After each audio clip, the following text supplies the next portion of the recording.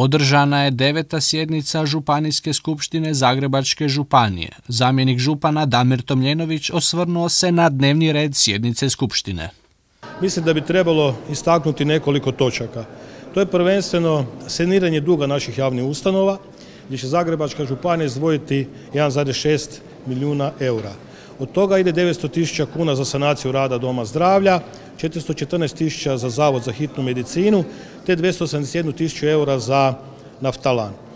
Vi znate da je konstantan problem broj timova hitne u Zagrebačkoj županiji, te Zagrebačka županija i ovim putem osigurava našim e, žiteljima da imaju adekvatnu hitnu medicinsku pomoć. Nije to jedino, mi gotovo 6 milijuna kuna izdvajamo i iz proračuna, isto to radi i Zavod za hitnu medicinu, tako da na taj način evo uspijevamo da ta hitna medicina funkcionira i da naši građani imaju tu skrb. Naglasio je da svi građani na području Zagrebačke županije moraju imati pristup zdravstvenoj skrbi, te iskazao zahvalnost gradu Dugo Selo koji je poklonio zemlju u Zagrebačkoj županiji. Znate da će se na toj zemlji graditi osnovna škola. Zagrebačka županija, ako se sjećate prethodnih sjednica kad se donosio proračun, je odlučila 16 projekata prijaviti na nacionalni program oporavka otpornosti. Normalno da je uvjet da bi gradili školu da zemljište bude u vlasništvu Zagrebačke županije. Isto tako pokreće se i osme izmjene prostornog plana Zagrebačke županije. To je praktički usklađenje sa ministarstvom, a težište je tu na povećanju mogućnosti turističkih kapaciteta. Vi znate da Zagrebačka županija e, bilježi znatni porast u turizmu, pa evo, nadamo se da će i to pomoći tome. Isto tako, tu će se pomoći izgradnji e, obnovljivih izvora energije, prvenstveno sunčanih elektrana, a i iskorištavanju izvora energije kao što su na primjer topla voda i sl. No ovo je samo pokretanje toga plana. Nadam se da ćemo u planu onda vidjeti ovoga, sve detalje i da će taj plan biti sigurno nešto dobro za naše građane. Predsjednica Županijske skupštine Zagrebačke županije Martina Glasnović rekla je što se još našlo na dnevnom redu.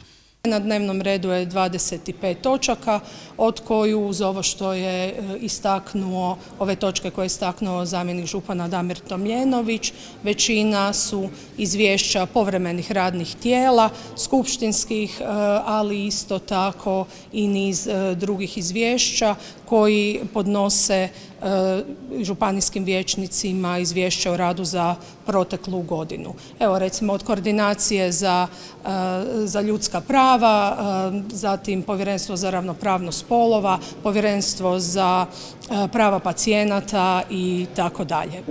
Vjerujem da će i da će i na ovoj sjednici biti dobrih, kvalitetnih rasprava, isto tako da će i dobar rad, to jest izvješća svih ovih povjerenstava biti usvojeno.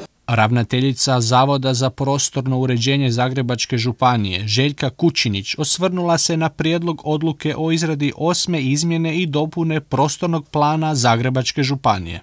Od prethodnih velikih izmjena i dopuna prostornog plana Zagrebačke županije prošlo je evo već dvije godine i u tom razdoblju donesene su izmjene zakona o ugljikovodicima i novi zakon o obnovljivim izvorima energije.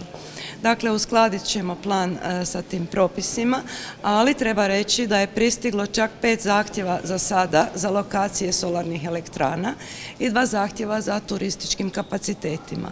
Kroz ovu izmjenu očekujemo da će biti još zahtjeva iz ovih e, područja, a također i trebamo se uskladiti sa e, zakonom o ugljikovodicima. Skupština je i na ovoj sjednici krenula s izglasavanjem brojnih prijedloga koji za cilj imaju realizaciju značajnih projekata, a kojima najviše dobivaju upravo žitelji Zagrebačke županije.